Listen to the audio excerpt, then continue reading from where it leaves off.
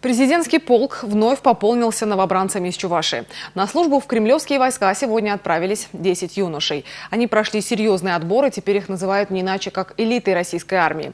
С теми, кто будет служить в самом сердце Москвы, познакомился Рифат Фаткулин.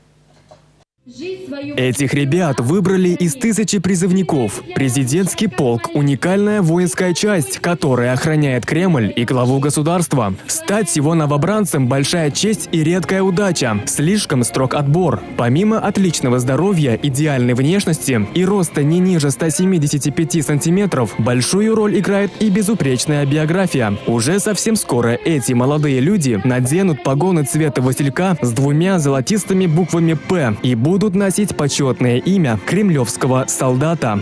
Я, само собой, очень стремился сюда. Вот мы на протяжении, можно сказать, как минимум полгода проходили все испытания. У нас было много комиссий, нас много проверяли, мы проходили собеседования. Это самые элитные войска России, и надо себя показать родственникам и самого себе доказать то, что ты самый лучший, то, что ты можешь преодолеть все, что у тебя будет на пути, и не надо сдаваться.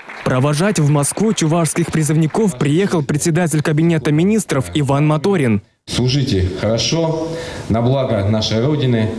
Надеюсь, что, я еще раз говорю, этот год пролетит для вас незабываемо. Ну а служба будет для вас хорошим испытанием лучших ваших качеств.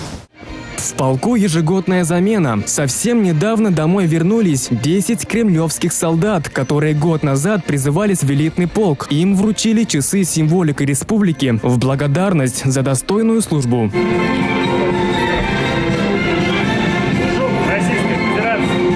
Чувашия на протяжении 15 лет отправляет новобранцев в элитные войска, и такая честь выпадает далеко не каждому региону. Туда не просто лучших, а лучших из самых лучших ребят отбирают.